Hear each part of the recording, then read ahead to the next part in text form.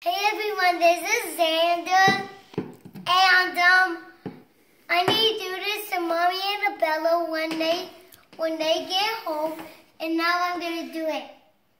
It's not a gun oh, or a sword. It's a marshmallow gun.